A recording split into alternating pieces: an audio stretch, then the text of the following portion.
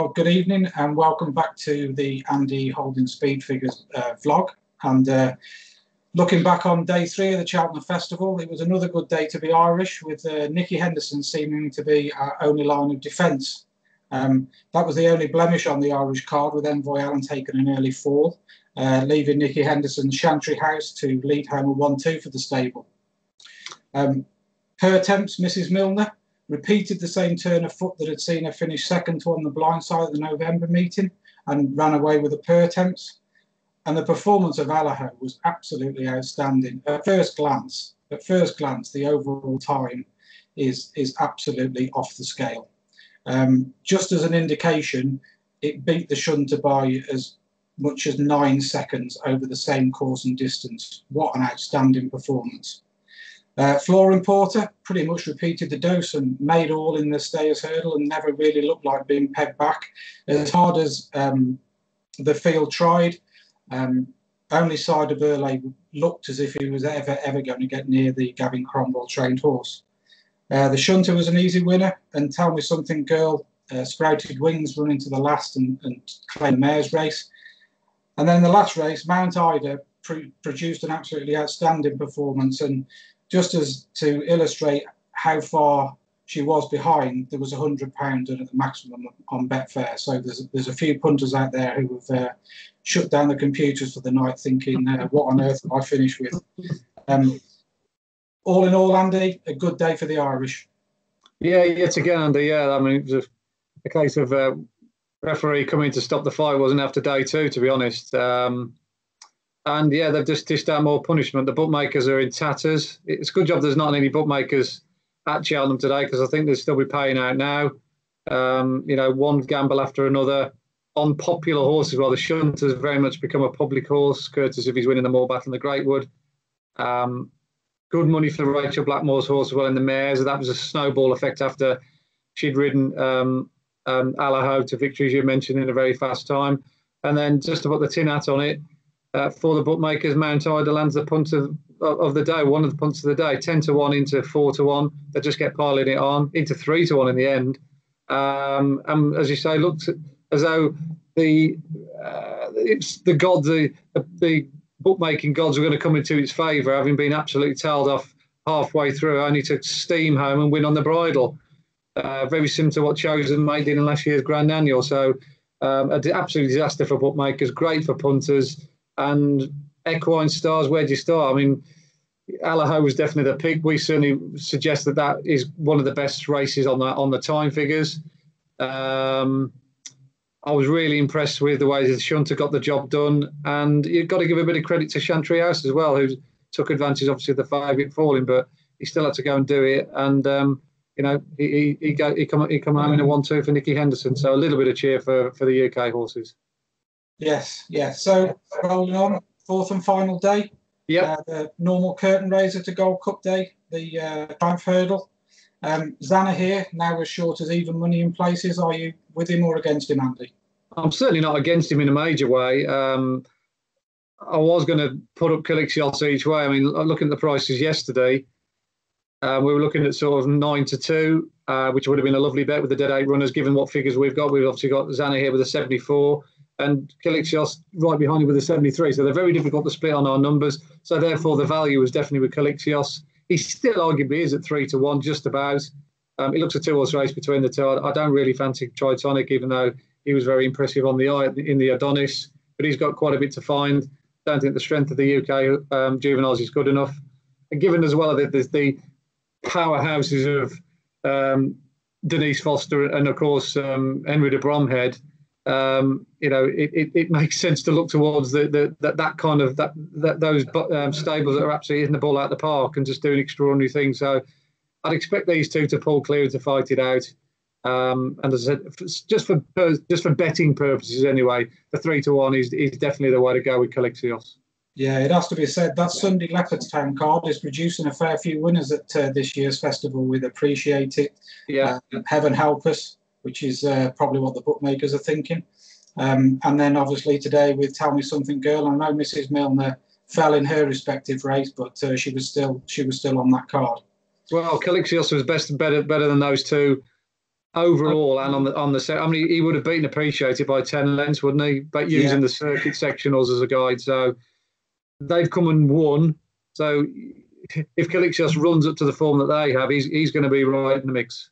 Yeah, it should be a, an interesting battle. The uh, speed of Zanahiyr against the staying power of uh, Quicksilver. Yes, yes. Uh, 35 minutes later, it gets a shade more difficult with a maximum 26 going to field for the county hurdle. How do you see this one, Andy? Unexposed novices, really, Andy, to be honest, is the order of the day, like it has been all week with the hurdles and the chases.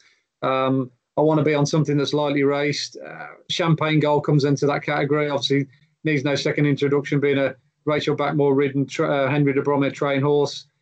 He had his first taste of uh, handicap company last time at Leopardstown. He travelled like the best horse, got to the front, and he's gone clear with uh, uh, uh, drop the anchor. But drop the anchor has just outstayed him probably because he had a bit more know-how, if you like, and he handled the soft ground better. But being by of presenting, you'd expect the better ground to suit Champagne Gold, so he might be able to turn the tables on his old rival.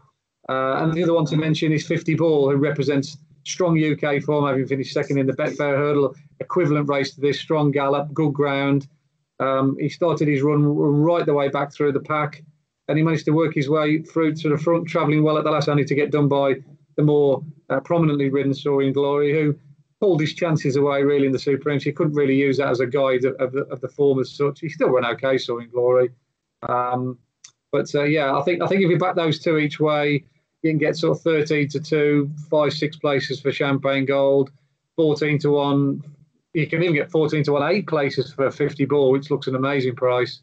Um, I, would be quite happy with those two. they have got consistent profiles and they've run in the right races coming into the race and they come out well on the figures. Yeah, they're certainly the uh, the two uh, predominant handicaps on the either side of the Irish Sea, the uh, race at Newbury and Leopardstown. So uh, yeah. um, the second of the Grade Ones uh, is up next. The uh, staying novices. Is there a monkfish in the field today, Andy? Um, hard to say that, but I think Fakira's a, a, got the right profile. Um, he, he's always looked as though he wants three miles or further than when he's been tackling two and a half. He ran well beyond Gaillard Du Mesnil last time out, doing his best work at the end. Similar comments the time before in a, in a good race uh, behind Ashdale Bob. Um, I think the better ground will suit him as well. And even though he'll probably be off the bridle at some stage, he does stay on very strong. Um, so I, would go with him as, a, as, the, as the number one choice. Uh, you'll notice that three under three five is at top of our figures as well, courtesy of a, a good win last time out at Musselburgh. The second horse um, of Nodger Twiston-Davies, who's won at Fontwell the other day. And um, he was really good the time before when he beat a nice horse of Alan King's Valeri's at Ludlow on good ground that's another point to make. He, he has got some good ground form. Stepping up to three miles definitely did for him last time out. He was he was good over that that trip. Um, so yeah, he, he comes in with a with a lightly rated profile as well. So again, two against the field for Kier at five to one, and you can get eleven to one for three under three five. Yeah, the, the secret to three under through five. He has quickened up very nicely, hasn't he, in two of those performances. Lud, yeah. Ludlow been a sharp track and Musselburgh. So uh, if it comes down to a race of speed, then he's certainly he's certainly well equipped to uh, to uh, put a fast finish in. Um, then on to the main event of the week, and I believe that um, uh, you're going to highlight one for selector here. Yeah, I think uh, is the one we're going to go with. Um, he's top of the numbers based on that run uh, in the Savills Chase, which is a savage gallop. The race couldn't have worked out any better. You know, Kemboy won next time out.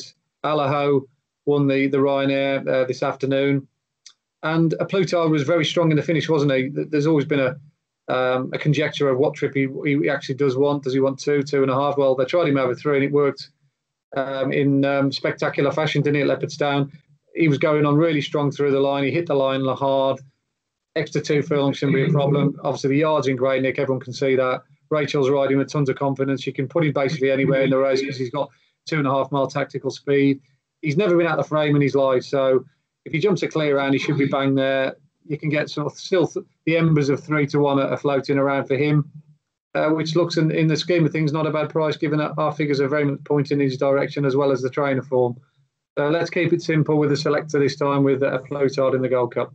Yeah, he did. Uh, he did fantastically well in that race at Leopardstown to close the gap when there was actually nothing else to take him to uh, to Kemboy and and, and Melon, uh, and then slightly slow at the last, he still found another gear on the running, didn't he? He kind of like it yeah. happened twice in the race, which uh, which is the mark of a, of a, of a proper Gold Cup horse, isn't it?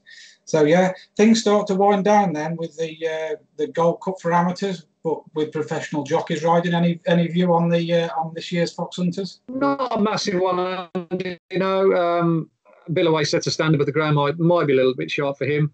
Um, I, would probably, if I was play spotting, I'd probably put the two Edna your horses in, Staker Wallace and Stand Up and Fight. Stand Up and Fight Got a good time at um, Thurles last time out behind Jury Duty, and he came from a long way back. And he was sixth in this race last year.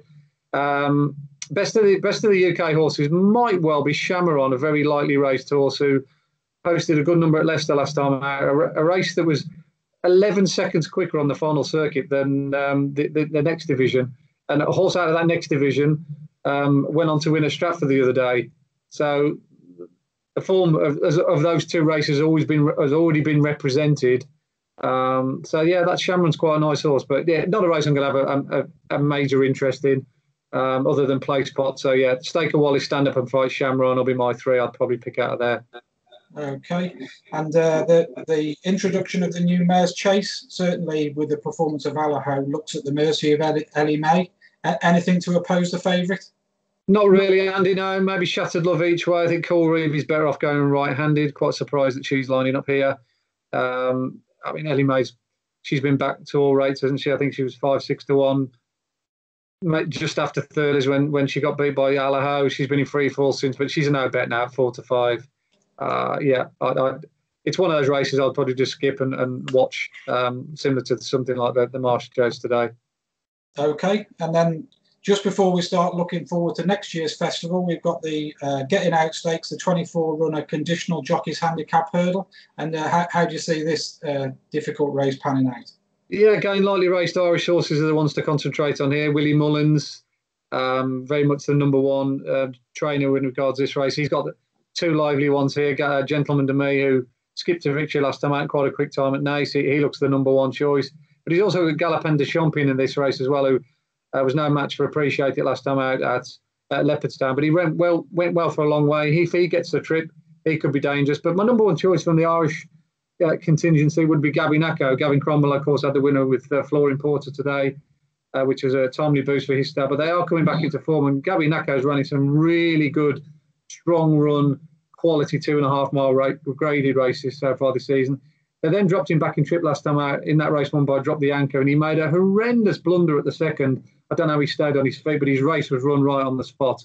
If you if you strip that off his dance card and look at all his other previous form, it stands up to very close inspection. He'll like the strongly run race, and um, yeah, he, he he makes plenty of appeal. So I'd probably throw two darts at the board there, maybe mainly with Gabby-Naco, but um, a little small saver on on Galopin Des Champs.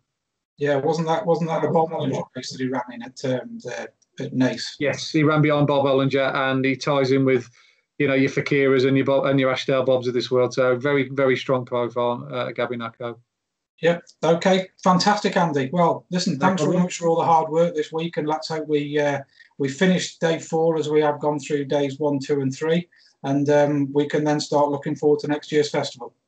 Absolutely, yeah. Uh, and in between, there's a small matter of Aintree and Punchestown as well, Andy. Oh yeah, and there's a Fairyhouse on the horizon. It just and never stops. As well, yeah. It never stops. So for all those who have joined us for the festival, we've got plenty more coming up over the next few weeks. And that's that's just before we start on the flat racing and, and start building up towards Ascot and the Derby. So we're, we're always here and we're always pushing speed figures, information, and the best advice possible out to all of our subscribers. Thanks very much and enjoy Gold Cup Day. Cheers, Andy.